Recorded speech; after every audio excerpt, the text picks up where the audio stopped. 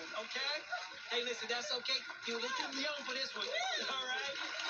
You're still going on with a thousand dollars. You guys played fantastically. That's it for us, and we'll catch you next time on the flip side. Peace.